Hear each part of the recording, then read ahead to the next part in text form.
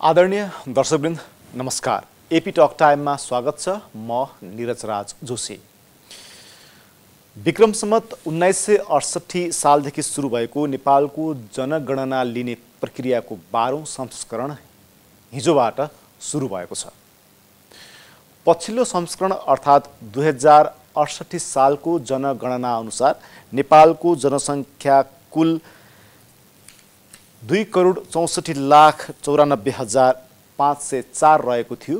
अबको जनगणनाले नेपालको जनसङ्ख्या कति पुग्छ र नेपालीहरूको आयस्तरदेखि नेपालमा रहेका सम्पूर्ण नेपालीहरूको विवरण लगायतका विषयवस्तुहरू सङ्कलन गरिँदैछ।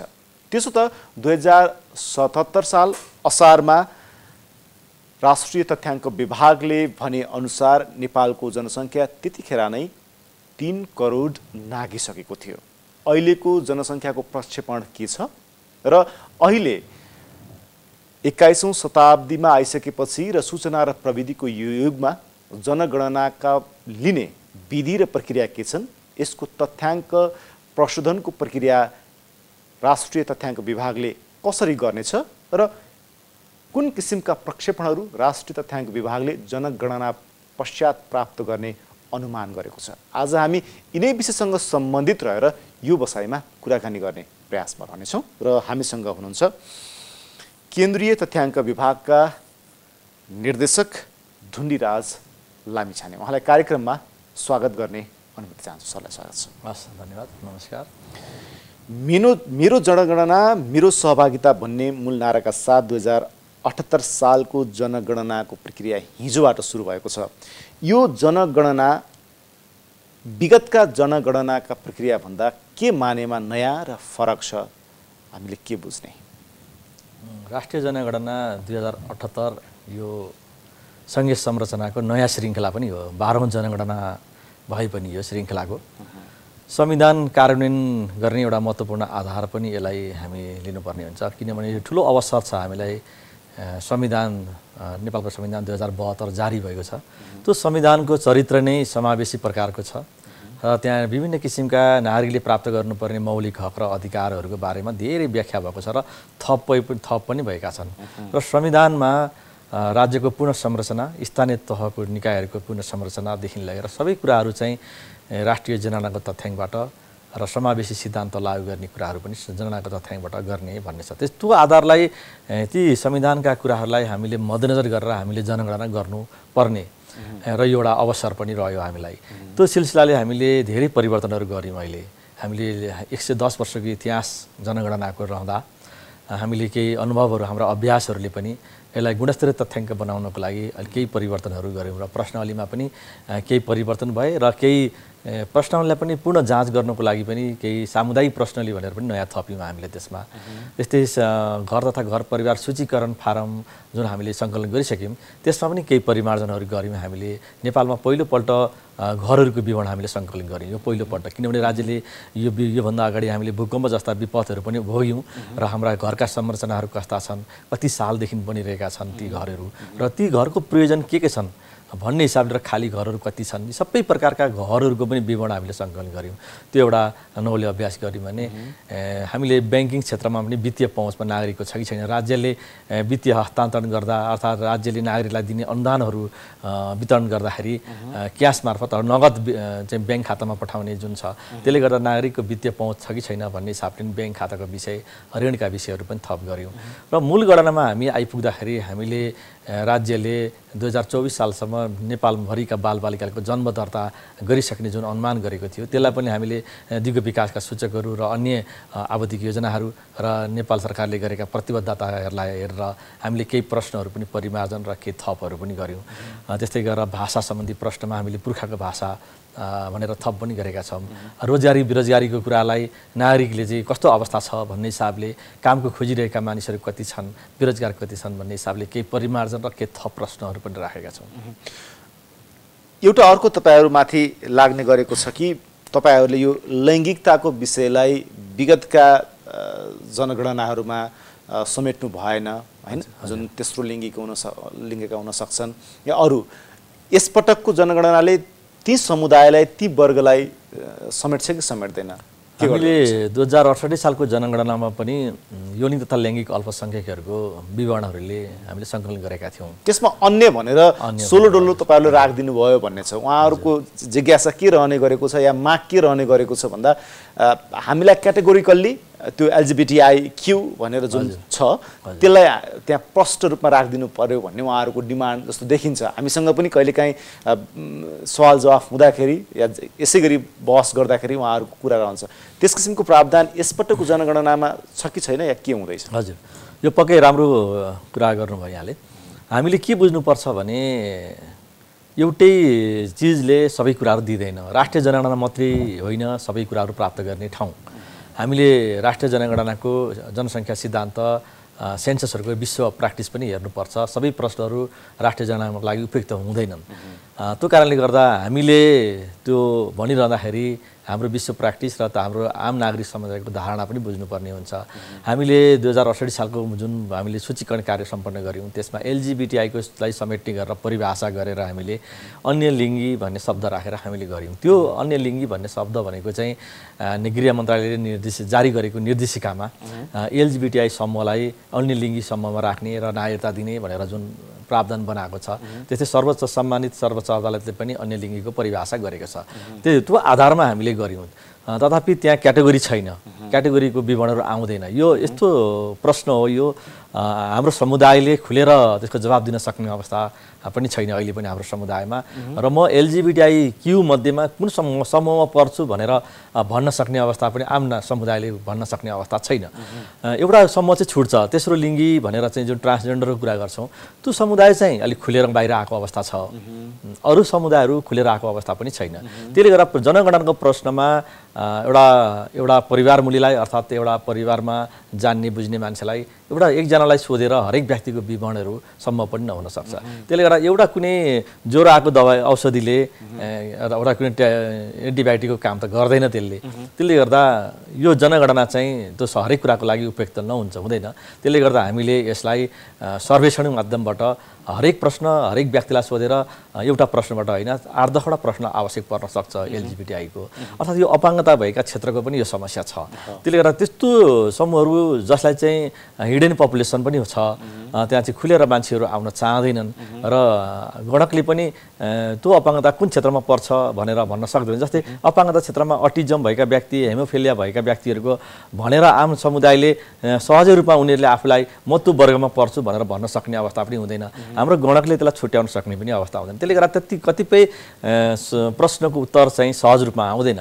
त्यस्ता प्रश्नहरू छन् भने त्यस्ता प्रश्नहरूलाई हामीले सर्वे मार्फत सर्वेक्षण मार्फत जानुपर्छ।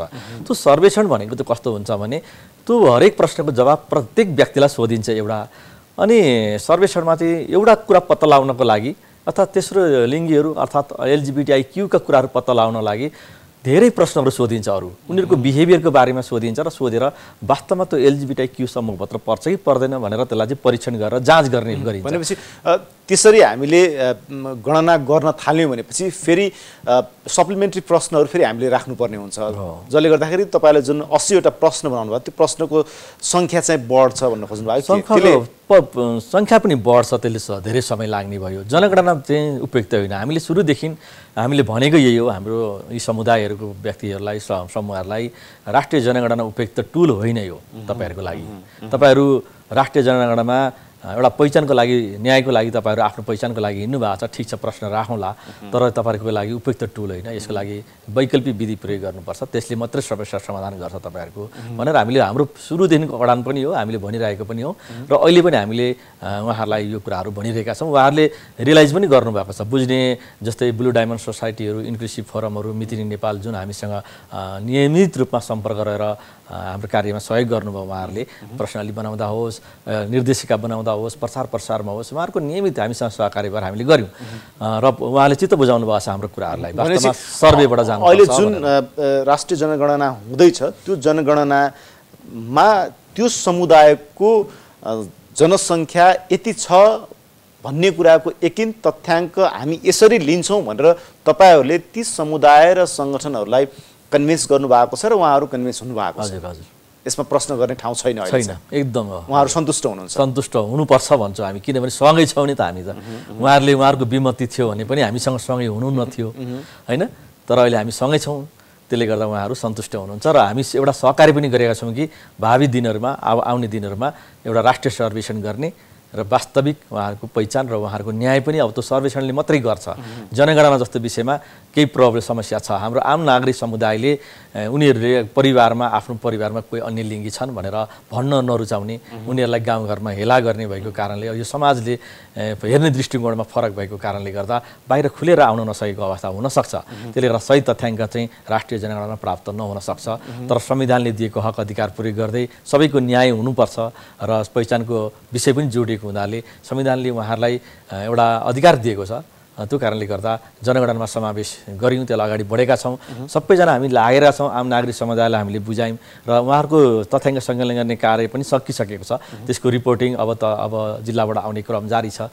त्यो आइसकेपछि हामी प्रविष्टि गर्छौँ र कति कुन अवस्थामा त्यो अङ्क आउँछ त्यो अङ्क आइसकेपछि हामी थप छलफल गरेर अगाडि बढ्ने मैले यो जिज्ञासा किन राखेँ भन्दा डुन्डे सर कि तपाईँहरूले एक किसिमको तथ्याङ्क दिनुहुन्छ या जनसङ्ख्याको तथ्याङ्क दिनुहुन्छ। उहाँहरूले भनिरहेको जस्तै धार्मिक विभिन्न धर्मका सम्प्रदायका व्यक्तिहरू पनि हुनुहुन्छ या सङ्गठनहरू पनि छ।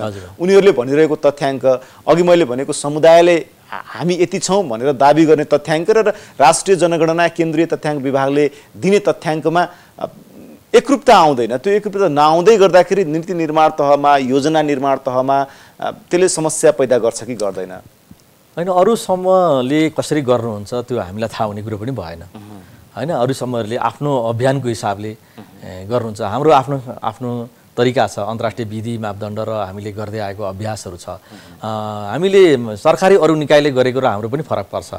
किनभने हामी भनेको अन्तर्राष्ट्रिय निकायबाट प्रतिपादित सिद्धान्त परिभाषा मापदण्ड र राज्यको नीति निर्देशनमा हामी भर परेर काम गर्नेछौँ त्यसले गर्दा अरू समुदायले गरेको कुरामा हामीले केही भन्न मिलेन तर हामीले गरेको कुराहरूमा हामी सही छौँ र हामी सही तथ्याङ्क दिइरहेका छौँ। किनभने राष्ट्रिय तथ्याङ्क विभागले केन्द्रीय तथ्याङ्क विभागले गर्ने जनगणना बृहत र यो चाहिँ धेरै मानेमा र धेरै अर्थमा सत्यसँग नजिक र तथ्यसँग नजिक रहन्छ भनेर बुझ्नु पऱ्यो होइन सत्य तथ्याङ्क भनेको सत्यको नजिक हुने नै हो तथ्यको नजिक हुने नै हो। किनभने हामीले एक सय दस वर्षको इतिहासमा गर्दै गर्दा हाम्रो जनगणनामा हामीले हाम्रो ट्रेन हेर्नु पर्ने हुन्छ प्रवृत्ति कस्तो छ हरेक अङ्कको प्रवृत्ति हुन्छ र हामीले बिजिजमा विभिन्न किसिमका सर्वे पनि गर्छौँ गणना मात्रै नभएर। त्यो सर्वेले दिएको अङ्क र जनगणनाको अङ्कमा कति फरक आएको त्यो पनि हेर्नुपर्ने हुन्छ। त्यसले गर्दा केन्द्र तथ्याङ्कले दिएको सर्वेक्षणमा अहिलेसम्म सामञ्जस्यता छ र त्यसमा कुनै पनि त्रुटि छैन र सामान्य त्रुटि त हुनसक्छ। र पनि सत्यको नजिकमा छ भन्ने नै हो हाम्रो। जस्तै मैले अघि पनि भने कि दुई हजार सतहत्तर साल असार बाह्र गते जनसङ्ख्या घडी अनुसार नेपालको जनसङ्ख्या तिन करोड नागिसकेको थियो। त्यो तथ्य र तथ्याङ्कलाई आधार मान्ने हो र अहिले तपाईँहरूले जुन जनगणना गर्दै हुनुहुन्छ राष्ट्रिय मूल जनगणना त्यसले प्राप्त गर्ने तथ्याङ्क र यो घडी अनुसार प्राप्त भएको तथ्याङ्कको सामञ्जस्यता कति हुन्छ? यद्यपि तपाईँले अगाडि केही कुरा भन्नुभएको हजुर एकदम सही। यो हामीले के बुझ्नुपर्छ भने जनसङ्ख्या भन्ने कुरो चलामान अवस्था हुन्छ एकदमै यसको प्रवृत्ति हेर्नुपर्ने हुन्छ। प्रवृत्ति हेर्दाखेरि तिनवटा किसिमले हेर्छौँ होइन? जन्म मृत्यु र बसाइसराई। यो तिनवटा कुरामा भर पर्छ जनसङ्ख्याको वृद्धिको आकार होइन? त्यसले गर्दा अहिले हामीले जन्मतिर जाने भने महिला हरेक महिलाको प्रजनन दरको हिसाब गर्दाखेरि अहिले घटेर भर्खरै दुई हजार उन्नाइसमा गरेको बहुसूचकाङ्क सर्वेक्षणले दुईको हाराहारीमा देखाएको छ अहिले। र दुई हजार अडसट्ठी सालको जनगणनामा हेर्ने भने दुई पोइन्ट तिनभन्दा माथि अर्थात् दुई पोइन्ट छसम्म पनि डेमोग्राफिक हेल्थ सर्वेले प्रजनन दरहरू थियो। एउटा महिलाले सरदरमा दुई पोइन्ट पाँचसम्म एभरेजमा भनौँ दुई पोइन्ट पाँच महिला बच्चा बच्चीको जन्म दिन्छन् भने अहिले आएर दुईमा घटेको छ प्रजनन दर जन्म दर घट्नु घट्दो अवस्थामा छ। त्यसले गर्दा बसाइसराईको कुरामा हेर्ने हो भने हाम्रोमा अत्याधिक रूपमा अन्तर्राष्ट्रिय बसाइसराई एकदमै बढेको अवस्था छ। र दुई हजार अडसठी सालमा आइपुग्दाखेरि जन्म र मृत्यु र बसाइसराईको हिसाब गर्दा मृत्यु दर चाहिँ घटेको अवस्था छ राम्रो अवस्थामा छौँ हामी। यो तिनवटा कुरालाई हेर्ने हो भने जनसङ्ख्याको वृद्धि दर केही अलिक घट्छ पक्कै पनि। त्यो त्यति तपाईँहरूले प्रक्षेपण गरेको या नेपाल सरकारले जनसङ्ख्याको वृद्धि वृद्धिलाई विगतका दशकहरूमा अब घटाउनु पर्छ भनिरहँदाखेरि अहिले घट्ने तथ्याङ्क आइरहँदाखेरि त्यो कस्तो स्थिति हो राष्ट्रिय रूपमा? अब जनसङ्ख्याको वृद्धि दर घट्ने अवस्थामा अब ठ्याक्कै चाहिँ हामी अहिले भन्न सक्दैनौँ। हाम्रो मूल गणना सुरु भइरहेछ। हामीले तिन करोडको अनुमान गरेका छौँ। दुई करोड नब्बेदेखि तिन करोड तिन करोड दस लाखको एभरेज हो होइन? त्यसको बिचको भाग भनेको दुई करोड नब्बे लाख जस्तो। र त्यसको बिचमा आउने नै हो। तिन करोडको ज- अनुमान गरेको अवस्थामा जनसङ्ख्या वृद्धि दर चाहिँ सहरीको हेर्ने हो भने अलिक फरक किसिमले हामीले सोच्नुपर्ने अवस्था पक्कै आउला कि जस्तो देखिन्छ। यो भर्खरको रिपोर्ट अनुसार हाम्रो जनगणनाको रिपोर्ट त अब सुरुवात हामीले अनुमान गर्न सक्दैनौँ अहिले कस्तो आउँछ भनेर। तर भर्खरै हाम्रो केन्द्रीय तथा विभागले गरेको रिपोर्ट प्रक्षेपण चाहिँ त्यसले गर्न सकिन्छ त्यसलाई अलिकति हेर्ने हो भने चाहिँ कस्तो किसिमको छ भने हिजो सबभन्दा बढी जन्मदर भएको ठाउँमा प्रजनन दर बढी भएको ठाउँ भनेको कर्णाली प्रदेश र प्रदेश नम्बर दुई। त्यो निकै उच्च थियो त्यहाँ। त्यो पनि त्यो क्षेत्रमा पनि प्रजनन दर चाहिँ अहिले दुई पोइन्ट तिन चारको हाराहारीमा आइसकेको छ। घटेको छ। निकै तल घटेको छ। र अहिले सहर बजारमा जस्तै अरू प्रदेशहरूमा हेर्ने भने दुईको हाराहारीमा छ। अब काठमाडौँ जस्तो बागमती प्रदेश भने दुईभन्दा मुनि आइसकेको छ प्रजनन दर त्यसले गर्दा अझ सहरी क्षेत्रमा हुने भने एउटा परिवारमा अ, प्रजनन अब बच्चाहरूको सङ्ख्या चाहिँ एउटा म्याक्सिमम् त्यस्तो दुईवटाभन्दा बढी त छै छैन काहीँ पनि तर दुईभन्दा तल आइसक्यो एउटामा पुगिसक्यो बच्चा जन्माउने दर। त्यसले गर्दा जनसङ्ख्या दर चाहिँ सहरमा निकै कम हुँदै गएको अवस्था छ। र अरू ग्रामीण क्षेत्रमा पनि त्यही किसिमले अलिकति तल आएको अवस्था भर्खरकै दुई हजार उन्नाइसको सर्वेक्षणले देखाइसक्यो। भनेपछि अब जनसङ्ख्याको वृद्धि दरलाई अलिकति सहरीमा चाहिँ अलिक व्यवस्थापन गर्ने जनसङ्ख्या व्यवस्थापनतर्फ अलिकति राज्यको चासो चाहिँ अब पक्कै पनि जनसङ्ख्या। व्यवस्थापन भन्नु र जनसङ्ख्या नियन्त्रण भन्नु दुईटा फरक फरक टर्मिनोलोजी र फरक फरक बुझाइयो। हामी कहाँ सामान्य रूपमा जनसङ्ख्या नियन्त्रण र जनसङ्ख्या व्यवस्थापन भनेपछि एउटै एउटै तौर तरिकाले बुझ्ने गरिन्छ। हामी व्यवस्थापन भनिरहँदा के बुझ्ने र नियन्त्रण भनिरहँदा के बुझ्ने या अहिले हामीले अब यो नियन्त्रण होइन अब हामी व्यवस्थापनमा जानुपर्छ।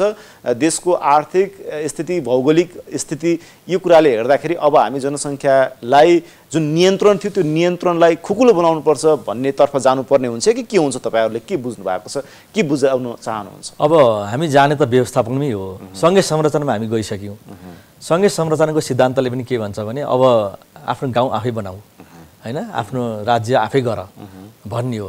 अब त्यहाँको भौतिक पूर्वाधार सुविधाहरू आर्थिक पूर्वाधारहरू त्यहीँ विकास गर्ने र जनसङ्ख्यालाई बाहिर जान नदिने। त्यहाँ रोजगारी सिर्जना त्यहीँ गर्ने।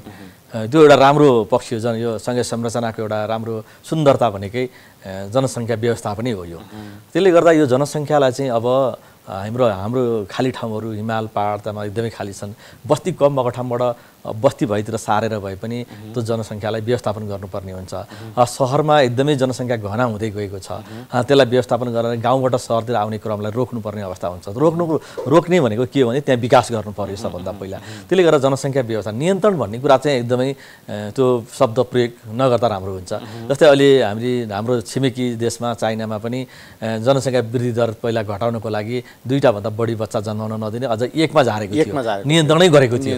अहिले त खुल्ला गरेको छ अहिले भर्खरै। अब बच्चाहरू जन्माउनेलाई दुईवटा बच्चा जन्माउनेलाई पुरस्कारै व्यवस्था गरिसकेको छ। होइन प्रोत्साहनै गरिएको छ। त्यसले गर्दा जन जनशक्ति चाहिँ देशको लागि नभई नहुने हो। जनशक्ति बिना युवा जनशक्ति अझ अहिले त हाम्रो पपुलेसन डिभिडेन्ड पनि छ हामीसँग। अझै दस बिस वर्ष त्यो हामीलाई जनसङ्ख्याको लाभ पनि रहन्छ।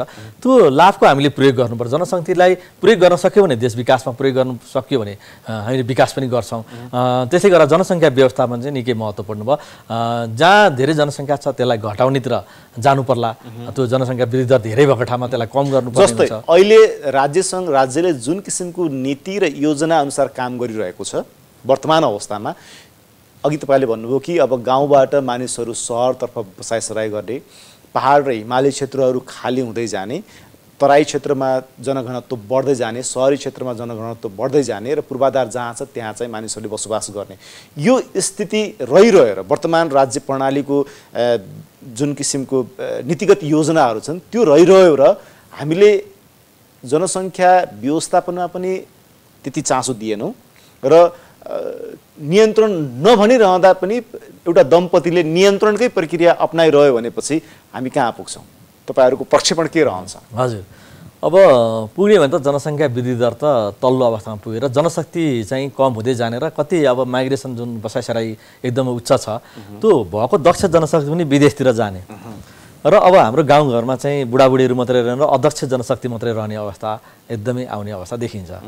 त्यो कुरालाई त्यही भएर व्यवस्थापन भनेको चाहिँ समग्रमा हेर्नुपर्ने हुन्छ व्यवस्थापन त। विदेशमा जाने जनशक्तिलाई पनि हामीले चाहिँ अब देशमै रोजगारी सिर्जना गरेर उसको व्यवस्थापन गर्नुपर्ने अवस्था छ। हामीले उत्पादन गऱ्यौँ हाम्रा जनशक्तिहरू हामीले डाक्टर इन्जिनियर बनायौँ खर्च गरेर राम्रो पढायौँ र त्यो जनशक्तिलाई हामीले यहाँ स्थायित्व रूपमा राख्न सकेनौँ भने त हामीले गरेको लगानी त बाहिर गएर बाहिरको देशहरूले प्रयोग गर्ने भए हाम्रो सबै लगानीहरू जति। त्यसले गर्दा जनसङ्ख्या सुरक्षा व्यवस्थापन चाहिँ निकै महत्त्वपूर्ण हुने यही यही अहिलेकै अनुपातमा तपाईँले भन्नुभयो कि कर्णाली प्रदेश र प्रदेश नम्बर दुईमा हिजो जुन किसिमको जनसङ्ख्याको वृद्धि थियो जनसङ्ख्या दरको वृद्धि थियो त्यो अहिले घटिरहेको छ। हजुर। यही रफ्तारमा त्यो घट्यो भनेपछि हामीले कहिलेबाट फेरि प्रोत्साहनको बाटो अप्नाउनु पर्छ हिजो चाइनाले एक मात्र सन्तान भनिरहँदा अहिले दुईमा खुकुलो बनाएको छ। त्यसबाट पनि खुकुलो बनाउने हो कि भोलिको दिनमा? जापानमा वृद्धहरूको सङ्ख्या वृद्धि भयो बढिरहेको छ। अब अलि युथहरू कम छन् भनिरहँदाखेरि त्यसको प्रभाव के हुन्छ? त्यसको प्रभाव त राज्यलाई ठुलो नकारात्मक प्रभाव नै पर्छ त्यो त्यसले गर्दा। अब जनसङ्ख्याको पाटोलाई हामीले दुई तिन प्र- प्रकारले पनि हेर्न सकिन्छ होइन?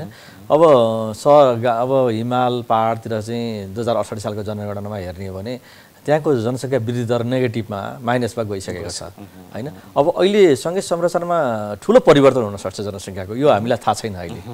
किनभने सङ्घीय संरचनामा अलिकति विकास चाहिँ तल्लो स्तरमा गएको पनि छ। राज्य सञ्चालनमा स्थानीय सरकारले अलि मजबुत भइसकेको अवस्था छ र विकासहरू चाहिँ सरकारले पनि तलसम्म लगेको अवस्था छ। त्यसले गर्दा जुन सहरमा आउने जनसङ्ख्यामा हिजोको भन्दा अलिक परिवर्तन हुन पनि सक्छ। हामीले अहिले केही भन्न सक्दैनौँ। यो पहिलो जनगणना भन्ने अलिकति किनभने हुने population। विश्वविद्यालयहरू तल पनि खोलिसकेका छन्। विद्यार्थीहरूको केन्द्रमा आउने चाप अलिक घटेको पनि छ। हामीले बुझ्न सक्छौँ। दस प्लस दुई अध्ययनरत विद्यार्थीको सङ्ख्यामा हिजोभन्दा अलिक कमी आएको छ काठमाडौँको ठाउँमा। त्यसले गर्दा हामीले यो परिवर्तन चाहिँ यो सङ्घीय संरचनामा एक किसिमको नयाँ तथ्याङ्क प्राप्त हुन्छ हामीलाई। यो तथ्याङ्क हामीले कसैले अनुमान गरेका छैनौँ अहिले कस्तो आउँछ भनेर। यसले निकै परिवर्तनका सूचकहरू दिन्छ जस्तो लाग्छ हामीलाई। र संरचनाहरू माइग्रेसनका प्याटर्नहरू पनि चेन्ज हुन्छन्। अबको युग भनेको बसाइसराईको निकै परिवर्तन हुन्छ जस्तो लाग्छ। अहिलेको बहसको विषय अब जनसङ्ख्याको विषयमा हामी बसाइसराईको बहस चाहिँ निकै ठुलो हुन्छ होला अब जस्तो लाग्छ हामीलाई। हाम्रो प्रारम्भिक अनुमान गर्दाखेरि। त्यसले गर्दा त्यसको कारणहरू के भन्नुहुन्छ तपाईँ? अब यो सङ्घीय संरचना नै हो एउटा। सङ्घीय संरचना हामी अभ्यास गर्दै गर्दाखेरि अ, संविधानले दिएका मौलिक हक र अधिकारहरू प्रयोग गर्ने र अब राज्यका संर संयन्त्रहरू तल्लो स्तरसम्म जस्तै अब लोकसेवा आयोग पनि तल गएर अलि अ, प्रादेशिक प्रादेशिक लेभलमा भर्ना प्रक्रियाहरू गरिरहेको अवस्था छ। त्यसले गर्दा अवसरहरू तल गइसकेको छ। त्यो अवसर तल गइसकेको कारणले गर्दा माइग्रेसन प्याटर्न चाहिँ परिवर्तन हुन सक्छ। अब नि एउटा मेरो जिज्ञासा रह्यो कि तपाईँहरूसँग त्यो तथ्याङ्क या तथ्य पनि हुनसक्छ कि सहरी क्षेत्रमा माइग्रेट भएको पपुलेसन अब जुन सङ्घीयता आयो र त्यसले केही चेन्ज राष्ट्रिक चेन्जको अब त्यो जनसङ्ख्यामा चेन्ज या बसाइसराईमा चेन्ज हुनसक्छ भन्ने तपाईँहरूले एउटा अनुमान गरिरहँदा प्रक्षेपण गरिरहँदा सहरी क्षेत्रमा आएको जनसङ्ख्या त्यो फेरि माइग्रेट भएर पुरानै अवस्थामा पुरानै अवस्थितिमा फर्केको हुन सक्ने अनुमानहरू छन् कि छैनन्? त्यो मोटामोटी तथ्याङ्क पाउनुहुन्छ कि पाउनु तपाईँहरू अहिले? अहिले त यो तथ्याङ्क माइग्रेसनको अध्ययन अहिले खासै छैन भएको छैन। तथ्याङ्क विभागले पनि अहिले गरेको छैन त्यसरी।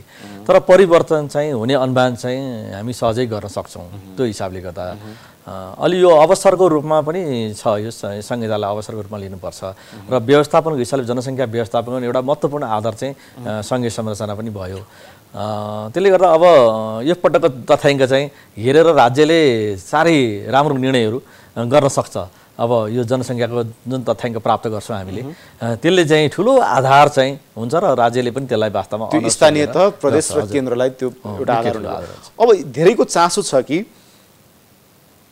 नेपालको नक्सामा जुन नयाँ ठाउँहरू थपिएका छन् या हामीले भन्दा हामीले दाबी गर्दै आएको स्थानहरू नक्सामा त्यसलाई अहिले चाहिँ आबद्ध गरियो या त्यहाँ राखियो ती क्षेत्रहरूमा पनि जनगणना हुन्छ या राष्ट्र केन्द्रीय तथ्याङ्क विभागले त्यहाँ गर्छ कि गर्दैन भन्ने एक किसिमको मान्छेहरूलाई चासो छ। त्यसको तयारी छ कि छैन? तपाईँहरूले के गर्दै हुनुहुन्छ अब जनगणनाको विषयवस्तु भनेको सबभन्दा महत्त्वपूर्ण भनेको भूगोल र समय हो। होइन? सबै नेपालको भरिभरिको भूगोलको त गणना गर्नै पर्यो अनि निश्चित समयमा गर्नै पर्ने हुन्छ एउटा। तर केही विवादित क्षेत्र यहाँले इङ्गित गरेको क्षेत्रहरूमा केही समस्याहरू छन् दुई देशबिचको कुटनीतिक पहल आवश्यक छ त्यसमा। र त्यो पहल कतिको सम्भव हुन्छ त्यो अवस्था कहाँ पुगिसक्छ? जनगणना अवधिभर कुटनीतिक पहल हुन सकेन। त्यहाँ भएन भने पनि त्यसका वैकल्पिक विधिहरू जनसङ्ख्याको सिद्धान्त अनुसार हामीले केही प्रक्षेपणहरू गर्नुपर्ने हुन्छ इस्टिमेटहरू गर्नुपर्ने अवस्था आउन भनेपछि गणक त्यहाँ पुगेर गणना गर्न चाहिँ आजको दिनमा तपाईँहरूले गरेको तयारी अनुसार त्यो सम्भव छैन। हामीले त्यसलाई पर्खेर हेरेकै अवस्थामा छौँ भनौँ न यसलाई। हामीले त्यो पहल अगाडि बढाइरहेको अवस्था छ नेपाल सरकारले। भनेपछि नेपाल सरकारबाट नेपाल सरकारको जिम्मेवार निकायबाट तपाईँहरूलाई त्यस किसिमको ग्रिन सिग्नल प्राप्त भएको छैन भनेर बुझ्नु। आउने आउने क्रममै होला भन्नुपर्छ त्यसलाई हामीले। पक्कै पनि जनगणना अवधिमा सम्भव भएसम्म त्यो प्रयास जारी छ। यदि त्यो सम्भव भएन जनगणनाको अवधिमा भने पनि नतिजा प्रकाशन हुने चरणसम्ममा अ, त्यसलाई हामी केही न केही तरिकाले राष्ट्रिय जनगणनामा समावेश गराउँछौँ भनेपछि गणना चाहिँ हुँदैन स्याम्पलिङ चाहिँ हुन्छ त्यसो भने स्याम्पलिङ भन्दा पनि कुनै वैकल्पिक विधि हामी प्रयोग गर्छौँ। उन त्यहाँ रहेका जो त्यो सरहदभित्र भएका नेपाली भनेर आज हामीले दाबी गर्नुपर्ने हुन्छ। नेपाल सरकारले नक्सामै त्यो क्षेत्रलाई समेटिसकेपछि हामीले दाबी गर्नुपर्ने हुन्छ। त्यो क्षेत्रमा रहेका व्यक्तिहरूलाई हामीले हाम्रो केन्द्रीय तथ्याङ्कमा आउँछ। समावेश गर्छौँ। हजुर। अर्को एउटा मेरो जिज्ञासा कि अब नौ गतिसम्म तपाईँहरूले जनगणना गर्नुहुन्छ त्यसपछिको डेटा एनालाइसिस त्यो तथ्याङ्क प्रशोधनको प्रक्रिया कसरी अगाडि बढ्छ? अब नौ गते कहिलेसम्ममा हामीले अन्तिम डेटा। प्राप्त अब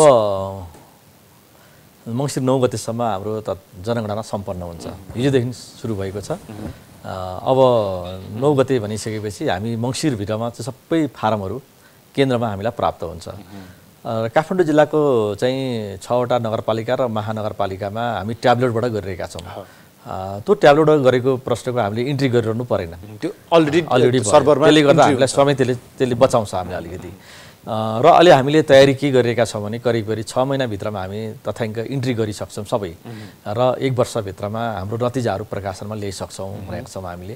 अलिकति हामीले विगतको भन्दा अलिक छिटो तथ्याङ्क दिन सक्ने किसिमको वातावरण हामीले योजना बनाएका छौँ। त्यो सायद एक वर्षभित्रमा हामी तथ्याङ्क दिइसक्छौँ हामी। धेरैको चासो के छ भन्दाखेरि किन तपाईँहरूले त्यो ट्याब्लेट विधिलाई अरू नगरपालिका अरू क्षेत्रहरूमा अरू स्थानहरूमा तपाईँहरूले गर्न सक्नु भएन? किनकि अहिले त इन्टरनेटको पहुँच लगभग लगभग तराईतिर या पहाडी क्षेत्रमा भन्ने भनेपछि लगभग लगभग भइसकेको स्थिति छ।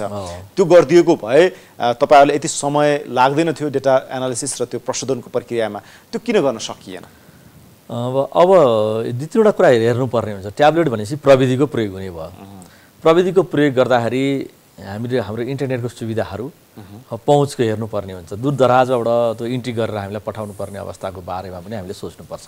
हामीले एउटा राम्रै स्टडी गऱ्यौँ। हिमाल पहाड तराईमा सबैमा इन्टरनेटको पहुँचको बारेमा दूरसञ्चार कम्पनीहरूसँग पहुँचको बारेमा हामीले डेटा पनि लियौँ। र हामीले त्यसलाई स्टडी गरिसकेपछि अलिक जटिल एउटा देखियो। त्यसले गर्दा त्यो एउटा सम्भव भएन। अर्को भौगोलिक अवस्था पनि त्यस्तै छ। अर्को कस्टको हिसाबले पनि लागत प्रभावी हिसाबले हेर्ने हो भने पनि पचास हजार ट्याब्लेट खरिद गरेर करोडौँ रुपियाँ खर्च गरेर भोलि त्यो तथ्याङ्क सङ्कलन त भयो इन्ट्री पनि हुन्छ। तर त्यसको भोलि पचास हजार ट्याब्लेटको प्रयोग के गर्ने त भन्ने कुरा हामीलाई जटिल भयो वास्तवमा त्यो। ठुलो लगानी। हामीले हाम्रो प्रविधि हामीले यहाँ बनाउन सक्दैनौँ। हामीले अब मोबाइलबाट हामीले प्रयोग गर्न पनि सक्थ्यौँ भारतले चाहिँ मोबाइलबाट एन्ड्रोइड मोबाइलबाट गर्दैछ। गणकहरूको आफ्नै मोबाइलबाट। त्यसले हामीले नेपालमा गर्दा गर्दाखेरि चाहिँ मोबाइल भएको व्यक्तिले मात्रै समावेश हुने भन्दाखेरि चाहिँ हाम्रो आम तल तल्लो लेभलमा बसेका नागरिकहरूले चाहिँ सहभागी हुनलाई वञ्चित जस्तो पनि देखियो। त्यसले गर्दा अहिले हाम्रो देशमा अलिक बेला भएको छैन यो विषयमा। किनभने भोलि एकै ठाउँमा कुनै ठाउँमा ट्याब्लेट हरायो कतै चोरी भयो अर्थात् त्यो मोबाइलबाट डेटा लस भयो भने राज्यलाई ठुलो हानि नोक्सानी हुन्छ। सङ्घीय संरचनामा यो पहिलो जनगणना पनि हो। त्यसले गर्दा हामीले यसलाई चाहिँ रिस्क नलिने सोच बनायौँ हामीले यसलाई तर तपाईँहरूले सङ्घीय संरचनाको फाइदा उठाएर स्थानीय तह र वडा स्तरबाट त्यस किसिमले गरेको भए अझ सहज पो हुन्थ्यो कि? सहज हुन्थ्यो तर राष्ट्रिय वडाले त्यो काम हो राष्ट्रिय जनगणना जस्तो महत्त्वपूर्ण विषय हामीले यसलाई डिसेन्ट्रलाइज गर्न अलि हुँदैन। केन्द्रीकृतै हुन्छ यो राज्यको संविधान अवधारणागत अवधारणागत केन्द्रीकृत हुन्छ। किनभने हामीले तल दिने बित्तिकै हरेक मानिसको बुझाइ फरक फरक छ। आज एउटा स्थानीय तहले एउटा तरिकाले बुझाइदिन्छ अर्को स्थानीय तहले फरक तरिकाले बुझाउँछ। नागरिकताको जस्तो विवाद आउन विवाद आउने भयो। अनि बुझाइमा फरक हुने बित्तिकै तथ्याङ्कहरू त तलबाट जोडेर ल्याउने विषय त होइन यो। होइन? एउटा स्थानीय तहमा हामीले दिउँ अरू अहिले अहिले स्थानीय तहले गरिरहेको सर्वेक्षणमा पनि त्यही बुझाइ भएको कारणले तथ्याङ्क प्रयोग हुन सकेको छैन। परिभाषा र अवधारणाहरू एउटै हुनुपर्छ। हाम्रो सङ्घ सम सङ्घीय संरचना पनि मजबुत भइसकेको अवस्था छैन।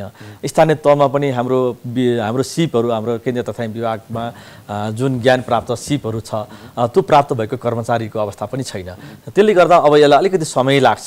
त्यसलाई बिस्तारै हामीले हाम्रो बुझाइ तथ्याङ्क प्रतिको बुझाइ पनि एकरूपता कायम गरिसकेपछि सबै अवधारणा र परिभाषाको बारेमा केन्द्रीकृत एउटा जुन सिद्धान्त छ त्यो तलसम्म पुर्याइसकेपछि मात्रै यो तल जान सक्छ। अहिले तत्काललाई चाहिँ मूल मूल गणनाहरू चाहिँ गणनाहरू सर्वेहरू ठुला ठुला सर्वेहरू चाहिँ तल जान सक्ने अवस्था अहिले अहिले छैन अहिले। हस् हाम्रो कार्यक्रममा आएर यति कुरा राखिदिनु त्यसको लागि तपाईँलाई धन्यवाद। हस् त मेरा कुरा पनि केन्द्र तथा विभागको धारणा पनि यहाँ यस एपी वान टेलिभिजन मार्फत राख्ने मौका दिनुभयो।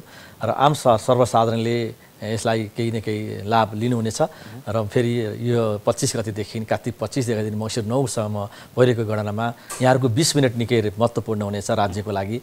यो राज्यलाई बिस मिनट दिनुभयो भने पक्कै पनि राज्यले विकास निर्माणमा यसलाई भरपुर प्रयोग गर्नेछ र हाम्रो कर्तव्य र दायित्व पनि पुरा हुनेछ। सबैजनालाई शुभकामना दिन चाहन्छु। हस् धन्यवाद। धन्यवाद पक्कै पनि दर्शकबिन तपाईँले पनि राष्ट्रिय जनगणनाको जुन यो महाअभियान छ त्यो अभियानमा सत्य तथ्य सूचना र तथ्याङ्क राष्ट्रिय जनगणना केन्द्रीय विभागले खटाएका गणकहरूलाई दिएर राज्य प्रणालीलाई सहज र सही कार्यदिशा र निर्देशन दिनको लागि सहयोग गरिदिनुहोला भन्ने हाम्रो पनि तपाईँहरू मार्फत हाम्रा मार्फत तपाईँहरूमा अपिल छ र आजको एपी टक टाइमको समय सकेको छ।